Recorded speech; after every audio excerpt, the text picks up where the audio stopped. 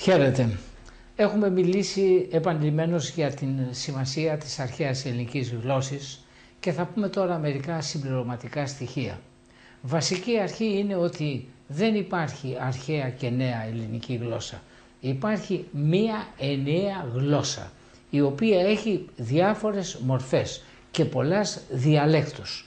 Η νέα ελληνική η δημοτική η οποία σήμερα κατά κάποιον τρόπο έχει επιβληθεί είναι μία από τις μορφές της γλώσσης. Στην αρχαιότητα υπήρχαν πάρα πολλοί διάλεκτοι.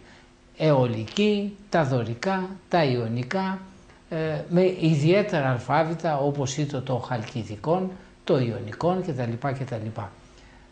Επίστευαν οι πρόγονοί μας στην σπουδαιότητα της γλώσσης, την οποία την εσέβοντο μέχρι σε του σημείου. Σήμερα στο θέμα το γλωσσικό υπάρχει μία πλήρης αδιαφορία. Ούτε καλλιεργείται η γλώσσα μας, ούτε αναπτύσσεται, ούτε διδάσκεται όπως πρέπει. Απέναντίας επικρατεί σύγχυσης. Για να αντιληφθείτε το πόσο οι προγονείς μας εξετήμων εθαύμαζαν και είχαν περιβάλει με σεβασμό τη γλώσσα των, θα σας αναφέρω το εξής περιστατικό. Είναι παρμένο από το βίο του Θεμιστοκλέους όπως τον έχει συγγράψει ο Πλούταρχος. Όταν ήρθαν οι Πέρσερ και ζήτησαν την παράδοση των Αθηναίων και έφυγαν κατόπιν παίρνοντας την αρνητική απάντηση, ο Θεμιστοκλής διέταξε και συνελήφθη ο διερμηνεύς των Πεσών και με ψήφισμα τον εσκότωσαν. Γιατί; Ετόλμησε χρήσε φωνήν Ελληνίδα βαρβάρης προστάγμαση. Δηλαδή ετόλμησε να χρησιμοποιήσει την ελληνική γλώσσα για να μας πει τι θέλουν οι βάρβαροι. Μάλιστα στο αρχαίο κείμενο το οποίο το έχω μπροστά μου λέει ερμηνέα συλλαβών. Χρειάζεται κάποια εξήγηση; Διαψηφίσματος απέκτηνε. Το αποκτήνω με ε φυσικά ξέρουμε ότι είναι το σκοτώνω. Ότι φωνή είναι Ελληνίδα. Θέλει καμία μετάφραση; Βαρβάρης προστάγμαση. Ετόλμησε χρήσε. Λέξεις τις οποίες τις λέμε. Ο Ζήνων ο από την Κύπρο ε, γύρω στο 330 π.Χ. είχε αναλύσει τα αρετάς που πρέπει να έχει η ελληνική γλώσσα. Οι αρετέ αυτέ ήσαν εξής. Πρώτον, ο ελληνισμός. Έτσι λέει επιλέξει. Ο ελληνισμός. Δηλαδή δεν πρέπει να χρησιμοποιούνται στον λόγο τον προφορικό και το γραπτό ξένες λέξεις. Σήμερα χρησιμοποιούμε πολλές ξένες λέξεις. Έχουν εισβάλει λέξεις τουρκικές, σλαβικές, αγγλικές, γαλλικές, χωρίς αυτές να αποτελούν ανάγκη του ελληνικού λόγου. Διότι εμείς έχουμε τα αντίστοιχα. Παραδείγματος χάρη, έχουμε γεμίσει με πινακίδες no parking. Μην παρκάρετε. Γιατί παρκάρω; Μη σταθμεύετε. Γιατί πάρκινγκ. Σταθμός αυτοκινήτων. Παλιά, ενθυμούμε, όταν ήμουν νέος, οι σταθμοί αυτοκινήτων είχαν και ονομασίες. Σταθμός αυτοκινήτων ο Ερμής. Σταθό, σταθμός αυτοκινήτων ο Ζεύς. Τώρα λέει πάρκινγκ. Δεν υπάρχει ανάγκη γλωσσική να χρησιμοποιήσουμε αυτή τη λέξη. Εάν οι Γάλλοι, οι Άγγλοι, οι ξένοι χρησιμοποιούν ελληνικές λέξεις, λένε μαθηματικ, μαθηματικά και δεν χρησιμοποιεί δική του λέξη, οφείλεται στο ότι δεν την έχει. Και παίρνει, αντιγράφει, μιμείται μια ελληνική λέξη. Εμείς για ποιο λόγο να έχουμε αυτή την ξενομανία και να βάζουμε ξένες λέξεις στο ελληνικό γλωσσολόγιο; Αυτό είναι λάθος και δεν πρέπει να γίνεται αυτά τα press room, ένα briefing ή μεθα σε meeting και τα λοιπά πρέπει να αποφεύγονται. Ποιος το λέει, ο Ζήνων ο Κιτιεύς, εδώ και 2.350 χρόνια. Πρώτη λοιπόν αρετή είναι ο ελληνισμός. Δεύτερη αρετή η σαφήνεια. Σαφήνεια σημαίνει να χρησιμοποιούμε λέξεις δια των οποίων να κατανοεί ο άλλος το νόημα αυτό που θέλουμε να το πούμε. Τρίτη ιδιώτης είναι η συντομία. Πρέπει να λέμε αυτό που πραγματικά πρέπει να λέγεται και όχι λιγότερο, όχι περισσότερο. Να συντέμνουμε την γλώσσα μας, δηλαδή να λέγουμε ακριβώς αυτό το οποίο πρέπει. Όπως το μαχαίρι κόβει το ψωμί, κόβει το κρέας, το ακριβές κόψιμο είναι αυτό που δεν είναι ούτε λίγο ούτε πολύ, είναι αυτό που πρέπει. Στο θέμα της συντομίας είχαν διαπρέψει στην αρχαιότητα οι λάκωνες. Είναι παρημιώδης η έκφρασης, το λακωνίζεις στη φιλοσοφή. Να σας φέρω μερικά παραδείγματα. Μετά από 27 χρόνια αγώνος μαχών στον Πελοποννησιακό πόλεμο, ο Λίσανδρος κατέλαβε την Αθήνα και έστειλε το μήνυμα στους πέντε εφόρους. Κατελήφθησαν ε Αθήνε. Απάντηση των εφόρων. Ήρκοι το κατελήφθησαν. Άλλο παράδειγμα. Πήγαν οι Θηβαίοι στη Σπάρτη διότι δεν είχαν αρκετή παραγωγή σίτου και ήθελαν σιτάρι. Ενεφανίστηκαν λοιπόν στην Απέλα που ήταν η εκκλησία του Δήμου της αρχαίας Σπάρτης εξεφώνησαν ένα λόγο για να πείσουν τους Σπαρτιάτες να τους δώσουν σιτάρι. Όταν τελείωσαν οι Σπαρτιάτες τους είπαν το τέλος του λόγου σας δεν το καταλάβαμε. Την αρχή του λόγου σας δεν την ενθυμούμεθα. Μπορείτε να μας πείτε με μία λέξη τι θέλετε. Εκείνοι είπανε σιτάρι. Μάλιστα θα σας δώσουμε. Ο βασιλιάς Πύρος έστειλε μία επιστολή στη Σπάρτη, στον Κλεωμένη και έγραφε «Εάν κατέβω στη Σπάρτη θα σας νικήσω, εάν κατέβω στη Σπάρτη θα σας υποδουλώσω, εάν κατέβω στη Σπάρτη δεν θα μπορέσετε να μου αντισταθείτε» και πολλά τέτοια. Απάντησε των Σπαρτιατών, μία λέξη, εάν.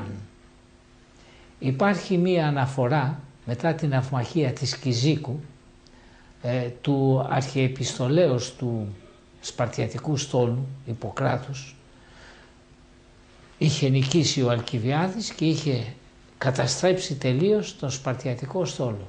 Εσώθη ένα πλοίο με τον αρχιεπιστολέα του στόλου, ονόματι Ιπποκράτη, το οποίο όμως το κατεδίωξαν, το συνέλαβαν και πήρανε και την αναφορά που είχε ετοιμάσει στους πέντε φόρους τι συνέβη. Αυτή η αναφορά αποτελεί υπόδειγμα στρατιωτικής διαταγής, στρατιωτικής αναφοράς για την ακρίβεια, υπόδειγμα, διότι πληρεί τας προϋποθέσεις που απαιτεί η στρατιωτική δεοντολογία.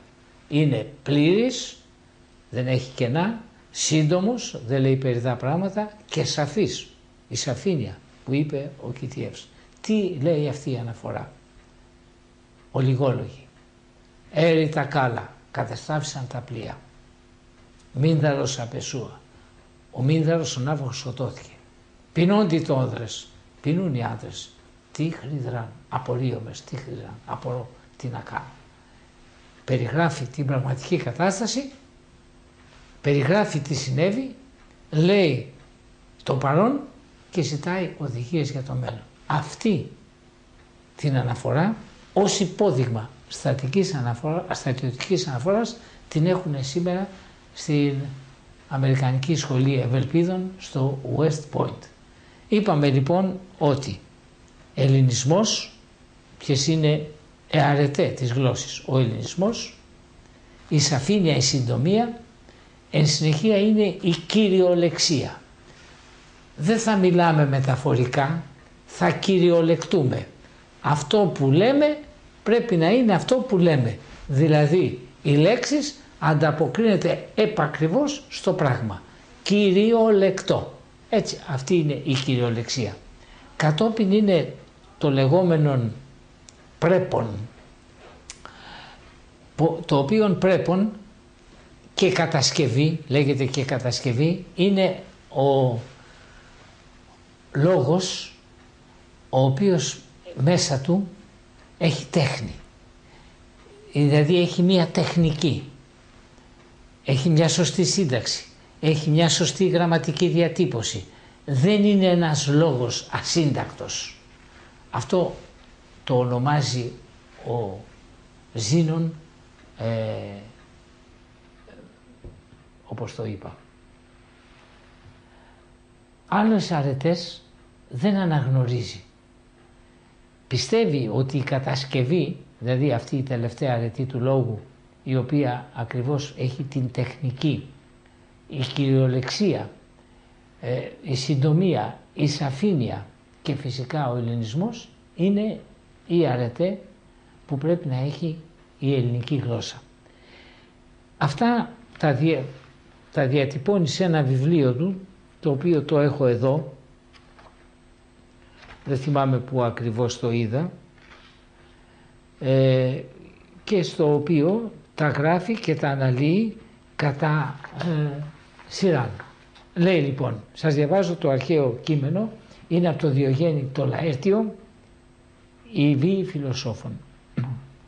Λέει, αρετέ δε λόγου πέντε. Αρετέ δε λόγου πέντε. Είναι κάτι ακατανόητο γιατί μας λένε τα αρχαία ελληνικά, η ξένη γλώσσα κλπ.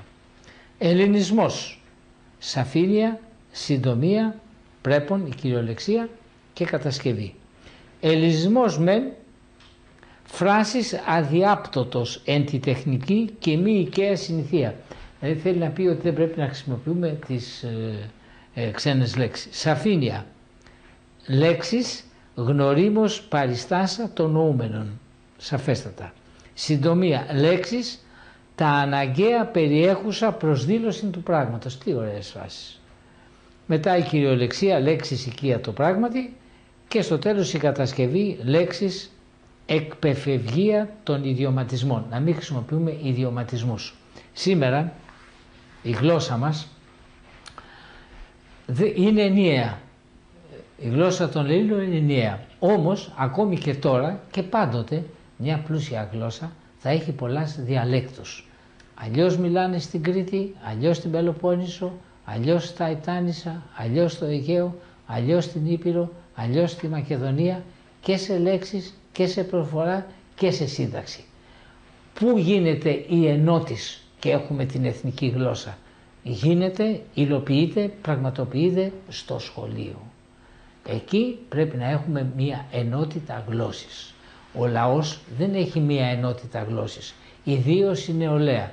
Εάν πάρετε ένα παιδί 5-6 χρονών που ζει σε ένα βουνό και πάρετε και ένα παιδί συνομήλικό του 5-6 χρονών το οποίο ζει σε ένα νησί.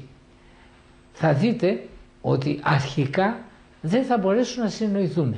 Ελέξεις τα οποία μαθαίνει το ένα παιδί πρώτα είναι πολύ διαφορετικές από τα λέξεις που μαθαίνει το άλλο παιδί πρώτα. Στη συνέχεια βέβαια υπάρχει μία μίξης, αλλά στην αρχή υπάρχει ένα διαφορετικό λεξιλόγιο. Το παιδί το οποίο είναι στο βουνό μαθαίνει το πρόβατο, μαθαίνει το βουνό, μαθαίνει το δάσος, ενώ το παιδί που είναι στην, στο νησί μαθαίνει τη θάλασσα, το ψάρι, το δίχτυ, την αμμουδιά. Έχουν λοιπόν ένα διαφορετικό λεξιλόγιο και στις εκφράσεις και στις επιδιώξεις και στον τρόπο ζωής. Εν συνεχεία έρχεται το σχολείο όπου στο σχολείο αποκτάται η ενότης της εθνικής γλώσσης. Βέβαια, οι γλώσσες που επικρατούν σήμερα στην Ελλάδα οι γλωσσικές μορφές είναι τρεις. Είναι η καθομιλουμένη, η δημοτική και η καθαρεύουσα. Παρά τις προσπάθειες που έχουν γίνει να αποβάλουν από την παιδεία την καθαρεύουσα, τούτο δεν κατέστη δυνατόν δια τον απλούστατο λόγο, διότι είναι αδύνατον. Δεν μπορεί να πεις αλλιώς το δελεάρ, θα βάλεις την κατάληξη ρο. Βέβαια όταν λες έκτορ, στο κάνει η δημοτική έκτορας. Το δέλεαρ θα το αφήσει, θα κρατήσει την κατάληξη ρο. Ο γονεύς του γονέως, το κάνει ο γονέας του γονέα. Πληθυντικός η γονή, λέει, η γονή. Ας το δεχθούμε. Παίρνουμε τώρα ο κουρεύς του κουρέως, αυτό το τριτόκλητο. Το κάνει ο κουρέας του κουρέα. Πληθυντικός, πώς θα το πει, η κουργή, δεν λέγεται. Βαστάει λοιπόν το κουρίς της καθαρευούσης.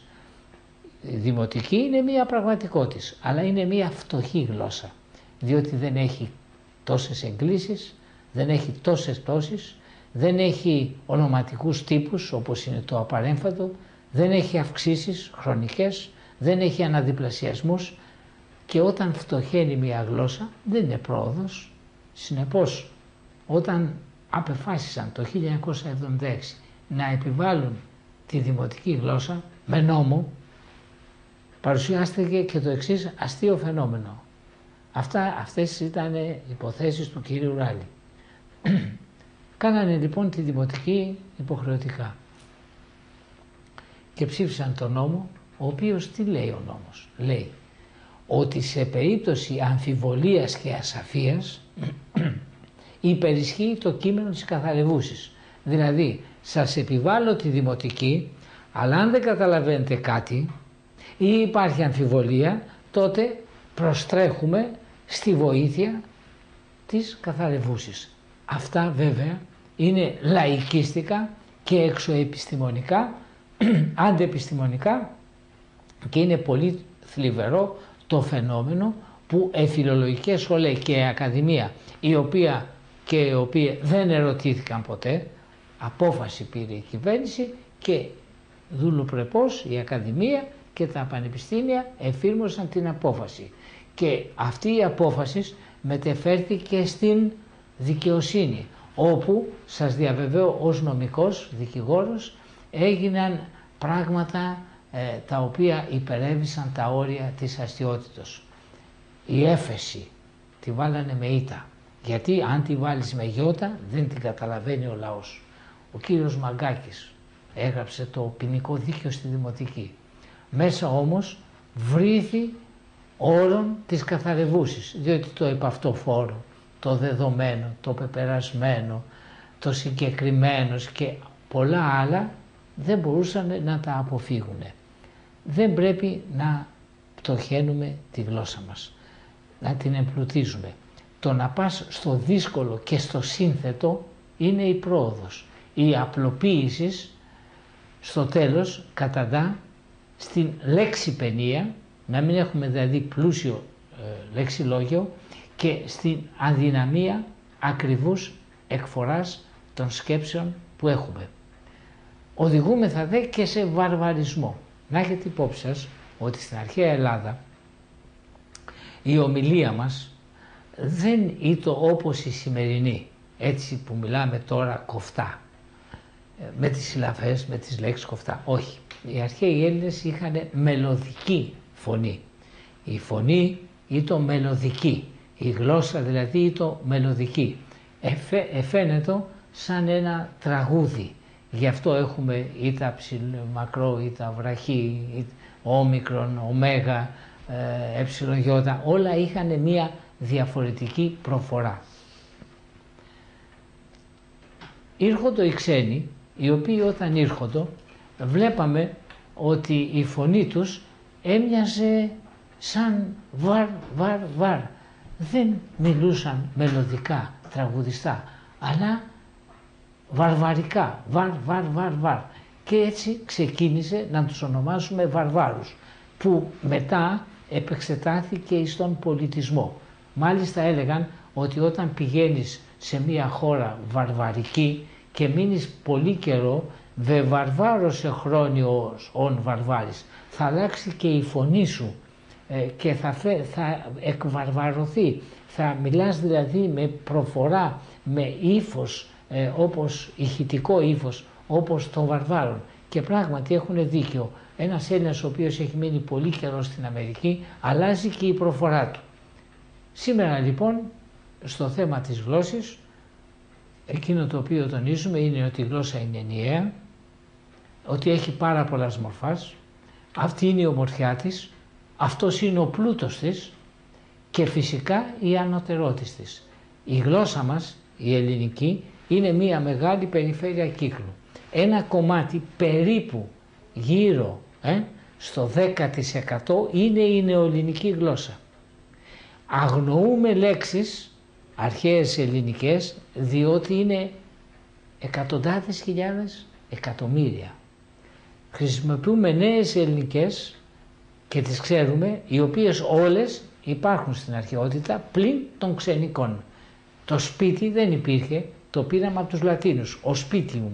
Υπάρχει όμως η οικία και βέβαια η σύνθεση στη νέα ελληνική γλώσσα γίνεται με το οικία, η οικιακή βοηθός. Οικιακά λέμε, δεν λέμε ε, σπιτικά ούτε σπιτική βοηθός. Και πώς θα πούμε τον οικισμό και πώς θα πούμε την απικία και πώς θα πούμε το ενίκιον. Λέξεις λοιπόν που υπάρχουν στη νέα ελληνική γλώσσα όλες υπάρχουν στην αρχαία. Όλες οι αρχαίες δεν υπάρχουν στη νέα γλώσσα. Γιατί; Διότι η νέα γλώσσα είναι πτωχή και είναι πτωχή όχι μόνο στο λεξιλόγιο, είναι και στους γραμματικούς τύπους και στο συντακτικό και στα πάντα. Η νέα ελληνική γλώσσα είναι πτωχή. Είναι μία πτωχή μορφή της αρχαίας ελληνικής γλώσσης. Βέβαια, η γνήσια, η πηγαία δημοτική, όχι η τεχνητή, η πηγαία δημοτική που εξελίσσεται φυσιολογικά σύμφωνα με τις ανάγκες του λαού και εδώ κάνω μια παρένθεση να σας πω ότι ο Σοκράτης τα είχε αναλύσει αυτά.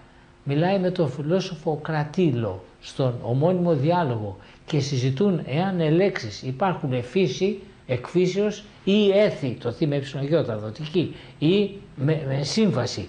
Μιλάει στο σοφιστή, με το μαθηματικό Θεόδωρο, με το θεέτητο, ένα σπουδαίο παιδί, νέος μεγάλος μαθηματικός, ο οποίος 21 χρονών σκοτώθηκε στον Κορινθιακό πόλεμο και δίδασε και στο Σοκράτη μαθηματικά. Εκεί έχουν λύσει τα θέματα αυτά τα γλωσσικά όπως ε, τα έχει λύσει και ιδίως τα γραμματικά όλα ο Αριστοτέλης. Έχουμε λοιπόν τώρα να πούμε ότι η ενότηση της ελληνικής γλώσσης είναι δεδομένη, πρέπει να φροντίζουμε τη γλώσσα μας, να αισθανόμεθα υπερήφανοι για αυτή και το πρώτο βήμα είναι αρχίζοντας από τους εαυτούς μας. Να μην χρησιμοποιούμε ξένες λέξεις, ούτε στον προφορικό λόγο και πολύ περισσότερο ούτε στο γραπτό. Καλή σας.